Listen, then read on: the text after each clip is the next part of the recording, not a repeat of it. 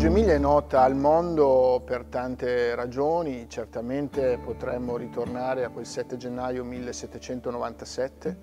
in cui nell'attuale sala del Consiglio Comunale, la sala del Tricolore, nacque la Repubblica Cispadana, fu il primo atto di un percorso insomma, che ha portato progressivamente questo Paese all'unità d'Italia, alla Repubblica, alla democrazia e lì nasce il tricolore e da lì anche le ragioni per cui Reggio è ricordata anche come città del tricolore. Ma Reggio Emilia nella sua storia è stata progressivamente tanto altro, è una città eh, che ha saputo dopo il dopoguerra eh, uscire da una condizione di miseria e diventare una delle realtà economicamente più dinamiche d'Europa, con un sistema economico molto importante, molto innovativo, fortemente orientato all'esportazione sui mercati mondiali. È una città però che ha progressivamente accompagnato durante tutto il Novecento eh, una costruzione di un importante sistema di politiche pubbliche sui servizi alle persone. È nota al mondo, come sappiamo, per la sua educazione nell'infanzia, per la sua cultura dell'infanzia, sul modello del Reggio Approach, ma anche per i servizi di welfare, per la sanità, quella sanità che ci sta aiutando in questa fase storica a gestire il Covid e a uscirne progressivamente. Ed è una città che però non ha mai smesso, pur mantenendo un solido legame con la sua storia, con la sua memoria,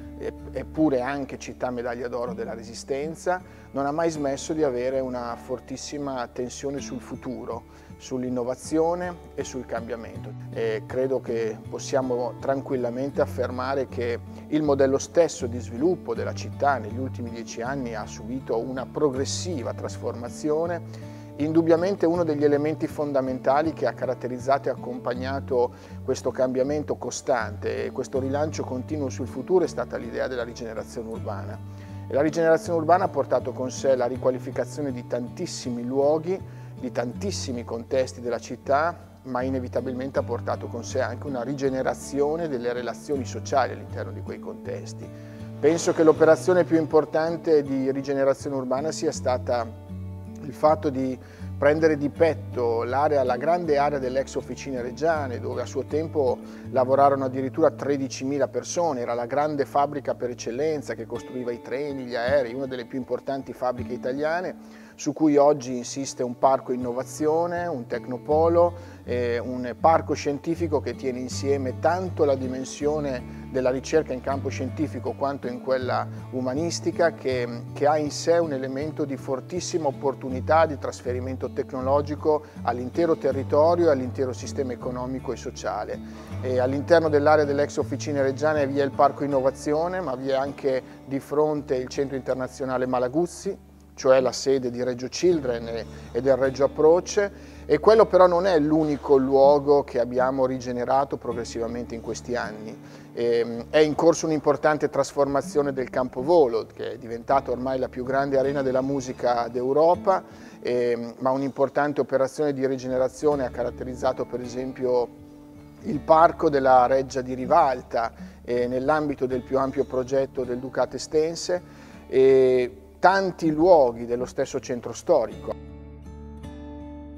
Siamo partiti dal Teatro Ariosto, stiamo per riconsegnare un museo riqualificato, rilanciato, nei prossimi mesi la Sala Verdi, un'altra importante sala civica e storica di questa città, chiusa da 30 anni, verrà riconsegnata alla città, ma potrei anche dire della della residenza dell'Ariosto, il Mauriziano, sono tutti luoghi che hanno avuto un importante lavoro di investimento pubblico, di recupero, di valorizzazione, di restauro, di rigenerazione. Questo ci dice anche di come l'educazione e la conoscenza e la cultura siano stati in questi anni uno dei motori fondamentali del modello di sviluppo di questa città.